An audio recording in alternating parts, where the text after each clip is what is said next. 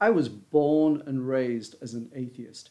In my parents' house, we had no Bible, no religious symbolism. Religion has never really been a part of my life. And in the UK, where I'm from, a lack of religion is a normality. At the last count, only 700,000 people attend church regularly in the United Kingdom. In Morocco, where I live, religion, specifically Islam, is a major part of everyday life.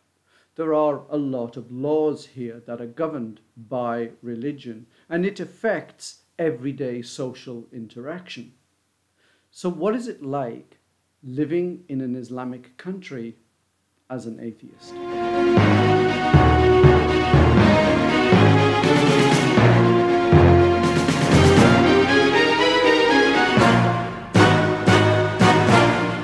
I don't hide my atheism. I don't feel that I have to, but I don't shout out about it either.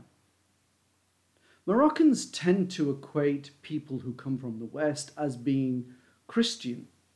So Moroccans who don't know me very well assume that I believe in a God and I believe in Jesus. And that's because it's easier for Moroccans to understand somebody believing in a God, even the wrong God, than it is for them to understand people being atheist, lacking a belief in any God. When my atheism becomes clear, confusion and surprise are the usual initial responses. After that, the responses fall in one of two sets.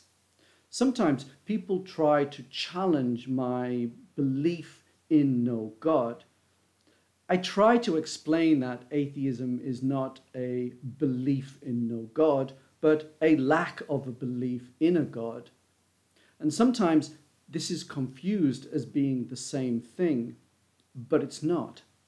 Sometimes Moroccans will try to convert me, although this is never done with heavy preaching it's more likely to be done with rhetorical questions like, How do you think we got here then? Or what do you think is the purpose of life?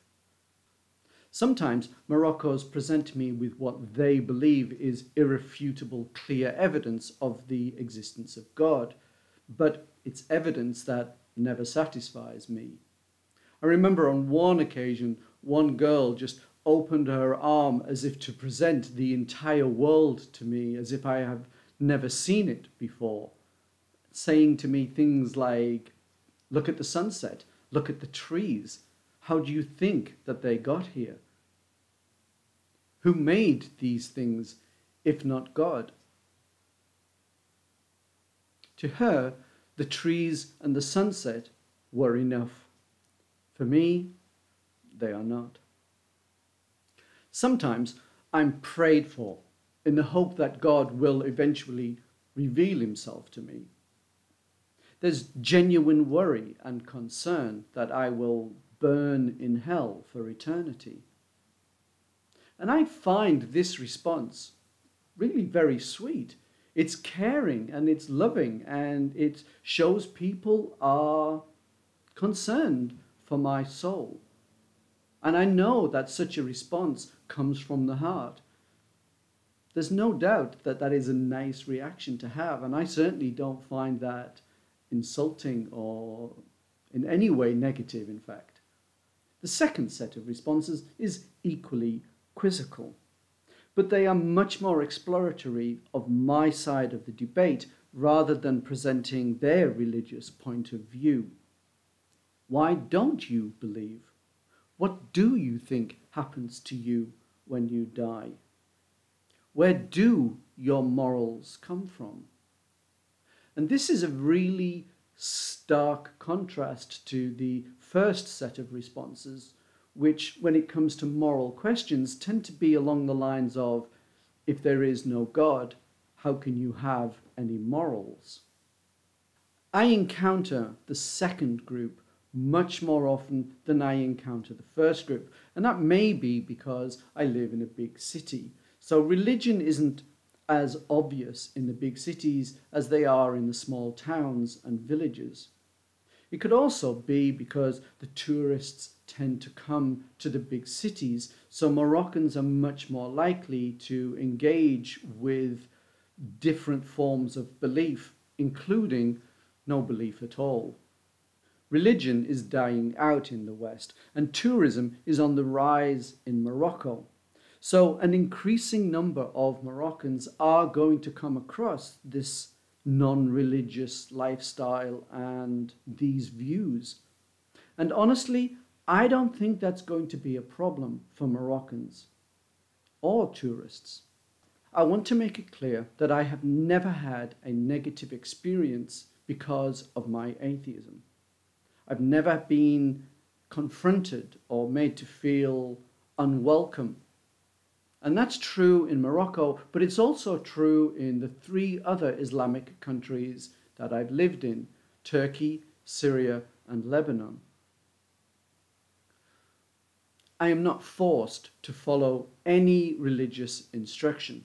I don't even have to observe Ramadan. I can eat and drink in public areas as if Ramadan didn't exist.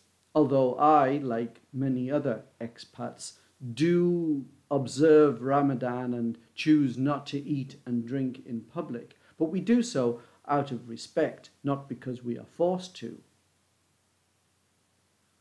So often, Western media present Islamic countries in a misleading way. It's not all Allah Akbar and riding to work on camels. Far from it. Morocco is a normal country, as were Syria and Lebanon before the war. The response that I get to my atheism is quizzical, it's not critical. I don't have to deny or in any way compromise my atheism. People all over the world, whether they are religious or atheist, just want to get on with their lives in a peaceful environment and ensure better lives for the generations of people to come. The overwhelming vast majority of Muslims are open minded and welcoming, and they are very interested in other religious and non religious points of view. Thank you for watching, and may your God, if there is one, go with you.